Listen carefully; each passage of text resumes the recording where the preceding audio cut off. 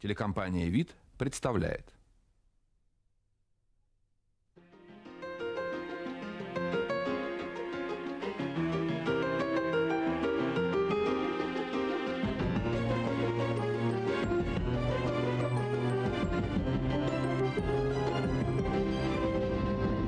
Добрый вечер. Сегодня час пик для всемирно известного музыканта, лауреата двух государственных премий, дирижера Владимира Ивановича Федосеева.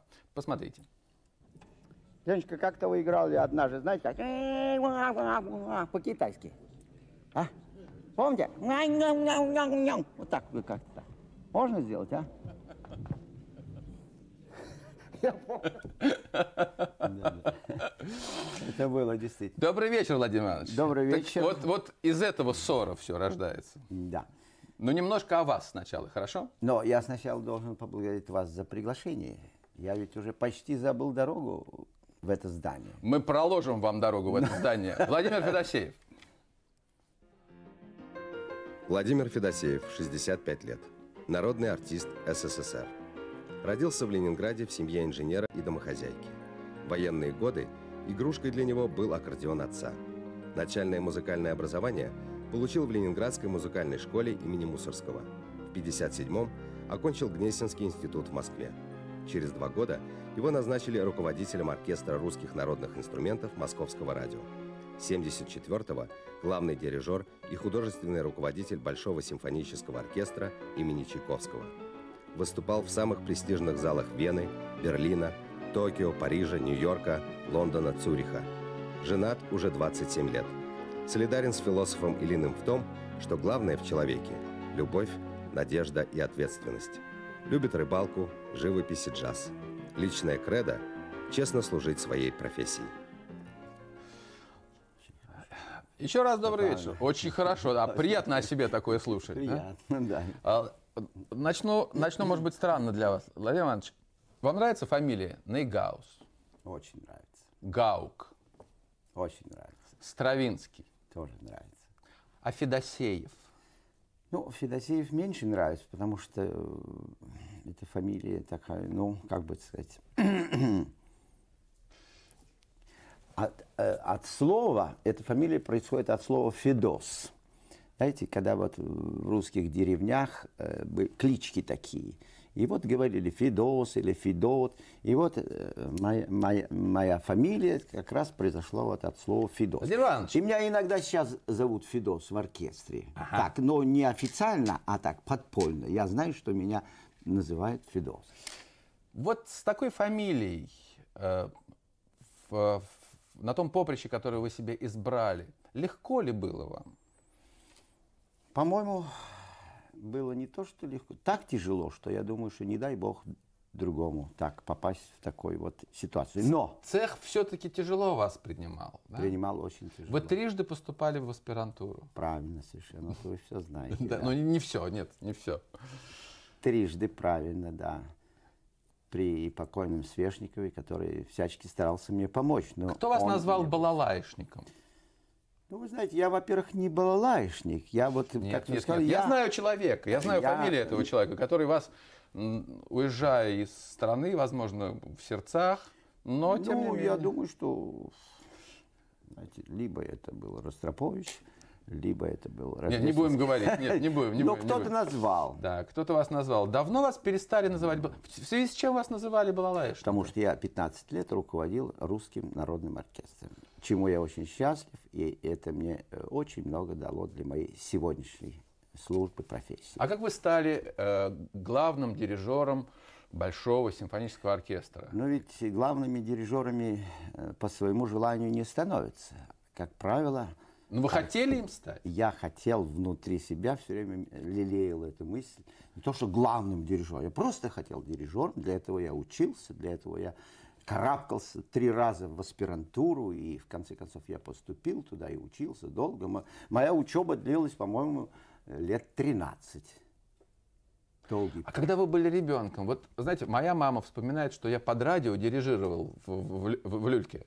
Да. А Махал я руками, а вы? под, под уличный э, оркестр духовой. Я выбегал, потому что в ту пору в Ленинграде много было оркестров по улице, когда... я бежал и вставал в хвост и тоже дирижировал. И вот с тех пор у меня закралось, и родители мои увидели, что у меня что-то... Хотя они сами не музыканты. Отец был любитель только, играл на баяне. Вот и все. Так, ну. Скажите, дирижер это руководитель или это все-таки исполнитель? Он, он музыкант, он играет? Есть два дирижера. Художественный руководитель и главный дирижер. И есть гостевой дирижер. В этом есть большая разница. Главный дирижер, он и есть руководитель, он и есть отец, он и есть и брат. Я и... говорю о, о профессии дирижера. Про... Дирижер – это музыкант, который играет оркестром? Да. Или это руководитель музыкантов? Это Большая и то, и разница. другое. Это и то, и другое. Он должен и руководить, он должен знать каждого музыканта, он должен иметь уважение к себе, он должен знать, как живут музыканты. Настоящий руководитель. Он должен, должен знать душу каждого музыканта, его А возможности. что, что вам приносит большее удовлетворение? А, музыка в каком виде? Вот вы садитесь за фортепиано и играете. Или вы становитесь за пульт, берете палочку и играете Играю, музыкантами. да. Музыкантами, да. Потому что э, достаточно 10 пальцев, и я могу н- на фортепиано сыграть. 10 пальцев. Но 10 пальцев недостаточно для 100 человек э, оркестра. Э, Значит, здесь я применяю уже все свои возможные, то, что мне Богом отпущено. Секунду, я вас остановлю. Очень хороший момент. То, что Богом отпущено, смотрим, что отпущено Богом. Я помню, играл на этом. Пожуйте так, в нос так немножечко. Но сейчас Леня нам изобразит. Пожалуйста, китайский пошел.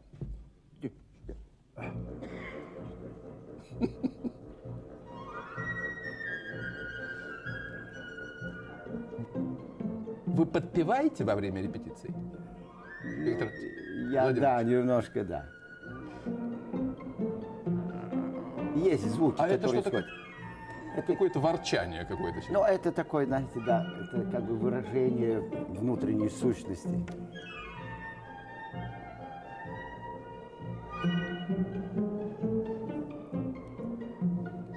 Это я вынимаю характер, так сказать, от музыканта. Стараюсь больше по-китайски это исполнить. А вы знаете, что это на самом деле вот э, это визуализация музыки пластическими средствами. Конечно, да, конечно. Ой, что такое? Это я, это я, это у меня есть такой, это не только мой недостаток, у многих дирижеров есть рычание такое. Но это на репетиции возможно. Конечно, на репетиции это возможно, на концерте это невозможно. Как смешно. А Вы видели, как репетирует Тосканини? Видел, да. Видели? Видел, да. Видел. У меня есть... Что это такое? съем. Это диктатор стоит с палкой, который может бросить в музыканта, а то и снять э, ботинок. Вот Совершенный был человек, не, терпевший никаких, так сказать, возражений. И Это правда, что он иногда в ярости срывал часы, срывал. Да, разбивал да, свои да, часы? и палкой бросал, да, кричал, кричал. Как, как э, оркестр терпит такое Вы отношение? знаете, если дирижер такой, имеющий авторитет, как Тосканини, музыканты терпят. Он, он стоит за пультом, и, и они знают, что он гениальный. Во всяком случае, э, Тосканини был таким. А что, разве можно муштровать э, музыкантов? Не муш... Это разные. Муштровать или требовать – это разные вещи. Можно муштровать несколько дней, а можно требовать один день, и результат будет тот же самый. Можно заниматься муштровкой, что, э, с моей точки зрения, плохо. А в вашем арсенале э, кнуты и пряники, в каком виде они? У меня только пряники. Только пряники? Да, кнутов у меня нет. У меня есть серьезный спрос, уважение к музыканту, любовь. И через вот эти качества я пытаюсь взять у музыканта все, что у него возможно, он даже не подразумевает. Э, В прошлом году Австрийская республика наградила вас э, вот большим серебряным крестом за заслуги Перед Австрийской республикой. перед республикой. Скажите, пожалуйста, а наша Родина э, не забыла Нет. своего музыканта? Нет, конечно, я ни- никак не обижен э, нашей Родиной и счастлив. И, и даже в это время в наше... Я сейчас год назад получил орден за служение Отечеству. Но я, правда, его еще не получил на руки, но уже награжденным. И, и я благодарен нашему правительству за эту награду. Единственное, что мне, так сказать, абсурдно, э, если меня награждают за э, во вклад в нашу культуру, то э, как-то нужно и помогать этому. Но помощи я пока не вижу. Ну, давайте сравним э, ситуацию. Вы уже год э, руководите симфоническим оркестром, э, Венским, большим Венским симфоническим оркестром. Венским симфоническим оркестром, так он да. называется. Он тоже большой. Да, он большой, даже больше. Он 100, полный. 130 человек. 130 человек. У, у меня здесь БСО 120. 120. Да. Давайте сравним ситуацию. А, один и тот же главный дирижер, да? Да. То есть исходные э, одинаковые. Казалось бы, да. Казалось бы, да. А вот по результатам? Ну, а результаты, конечно, есть разные. Потому что, во-первых, разные школы. Есть Венская школа, так она и называется школа Венская. В чем она? Во-первых, в струнных инструментах. Игра на скрипке, школа струнная, она отличается от русской школы. Вообще русская школа для струнного оркестра, струнных, э, считается одной из лучших одной из лучших и сильных школ. То есть ей Давайте для, для зрителей. Может быть, объясним для зрителей, в чем разница а, характера звука? Сейчас скажу. Значит, русская школа – это глубина, глубокий звук, обвораживающий совершенно звук теплый, привлекающий, то есть разговаривающий с, со слушателем. Венский звук легкий такой, знаете, э, танцевальный звук. Поверхностный. Да, поверхностный, толкающий такие. А как-то вот. на репетиции вы эм, обронили выражение, оно для вас характерно. Нота должна быть отвибрирована. Да, вот это и есть, так сказать. Это та, русская школа? Та, нет, ну там тоже вибрации. Смотря какая вибрация, есть разные вибрации, глубокая, частая, редкая.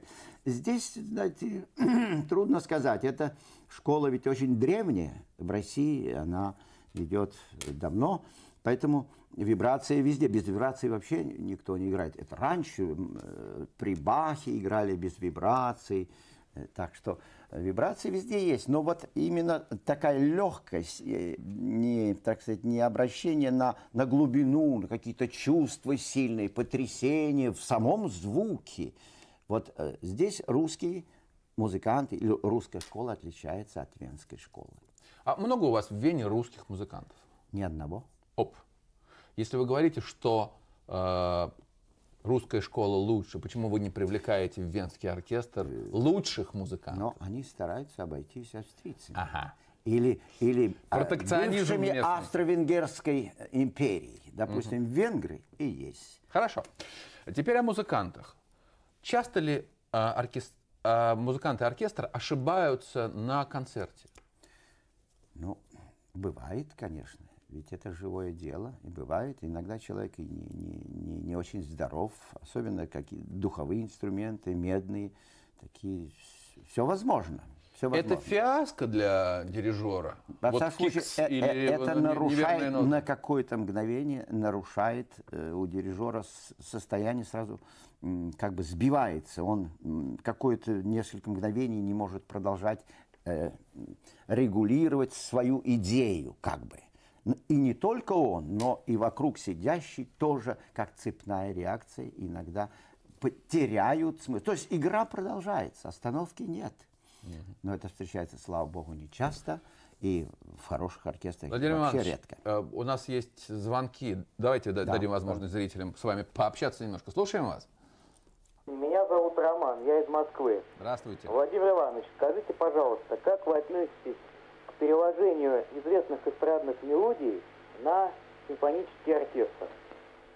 Да, часто играют. Битлз да. совсем популярны. Я очень хорошо к этому отношусь. Это все зависит от того, кто это сделает. И чтобы это был, э, так сказать, э, сделан в высшей степени прекрасно и профессионально тогда это, это, так сказать, может жить и может существовать. Это при, прекрасная вещь. И это один из ходов, а, а, один из путей привлечения людей, которые не любят или не понимают симфоническую музыку. Вот тут мы приход к симфоническому оркестру. Вот тут мы перейдем к тому, о чем вы хотели поговорить. Э, до эфира мы с вами это обсудили. Да? Вот ваша роль, роль вашего оркестра, вообще роль симфонической музыки в сохранении культуры А вы, вы хотели поговорить о, о русской культуре Да, в мире? конечно. Но я не только хотел поговорить о, о музыкальной культуре. Я имею в виду общую культуру, литературу, живопись. И ведь мы сейчас, так сказать, время у нас сложное, но я счастлив тем, что я живу вот в этом островке русской культуры, где существуют одновременно такие композиторы, как Свиридов, такие писатели, как Белов, такие писатели, как Распутин, такой режиссер, как Петр Фоменко. Вот я счастлив от этого, что я существую. Такой оркестр, как мой оркестр, или наш оркестр, вернее, это не мой, не собственный, это наш оркестр, которым я руковожу 24 года. Это уже семья, это уже, знаете, У вас будет э, серебряная свадьба в будущем году? серебряная свадьба, да. А, хорошо, что, я думаю, что мы, мы можем поучаствовать, отметить ее. Вы как-то посетовали, что вы давно не появлялись на, Давно, на давно, телевидении. давно. Давайте подумаем, как это сделать. 25 лет серьезная дата и хороший Я с повод для этого. благодарностью А как вы относитесь к, к тому, что вот в, в э, в продолжении вопроса зрителя, эм, когда создаются вот визуальные э, клипы, визуальные произведения, да, снятые э, на хорошую пленку, э, замечательными операторами, вот симфоническую музыку. Э, Я видел много такого в, Англии, финны это снимают. Именно симфоническую музыку. Да, да, да. Вероятно, что мы еще не научились достаточно хорошо это, эти клипы делать, симфонические. Ну вот есть идеи бродят, Москва полна идей, например, эм, оперные партии, э, которые э, пелись бы э, популярными эстрадными исполнителями и наоборот. э, эстрадные песни, шлягеры, которые пе- пели, пел бы Садкилава. То же самое и в музыке. Как вы к этому отнесетесь? думаю, скорее- Если бы вам поступило такое предложение. Я бы согласился с тем, что оперные певцы могут петь легкую музыку, оперету. И, и здорово. Наоборот, я не принимаю. Да, но Стинг не может э, спеть Нет, э, нет, Санта-Лючия. нет, да? Я считаю, что... Он пытался. Нет, это нет. Все-таки есть у каждому свое место, каждому свое место. Ваша дочь выбрала, поговорим о том, что будет после нас. Ваша дочь выбрала стезю инженера. Ваш э, сын реставратор, он э, занимается фресками, э, реставрирует церкви. Во всяком случае, делал это. Да. А, И делает. и делает это. Эм, Вы одобрили тот, и другой выбор? Я одобрил выбор сына, но э, дочери выбор я, э, так сказать, просто был вне этого. Я, к сожалению, так сказать, упустил тот момент. У вас, у, вас, было у вас никогда снова не возникает желание э, писать музыку? Когда-то вы наступили на горло собственной песни, запретив себе и другим Ну, любительски, да. любительски к Но этому нет, нет. относиться. Это я сделала однажды в жизни, когда в оркестре, в народном стали сочинять музыку все другие музыканты. И я в тот момент именно сочинил тоже. Сказал, что вот я могу сочинить не хуже вас и сочиняю, но я больше никогда в жизни не сочиню, потому что я не рожден сочинителем. Поэтому я как бы прекратил дальнейшее сочинительство от музыкантов. Я это сделал только специально так. Понятно. Сколько у нас до конца эфира? Правда, 30 секунд. Жалко. Ну давайте, у нас есть лозунг «Лучше один раз увидеть». В этом случае лучше один раз услышать. Дадим хотя бы немного музыки.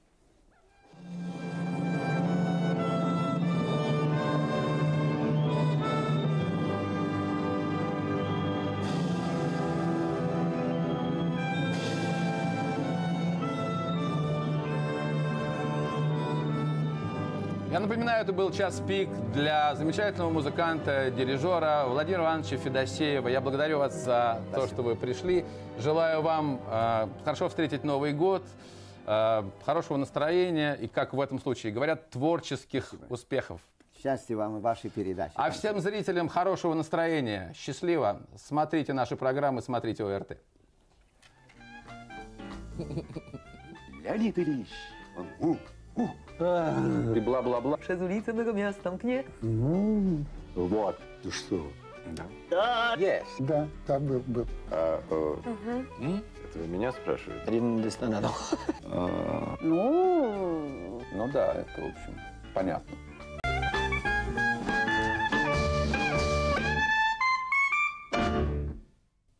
Телекомпания «Вид» по заказу ОРТ.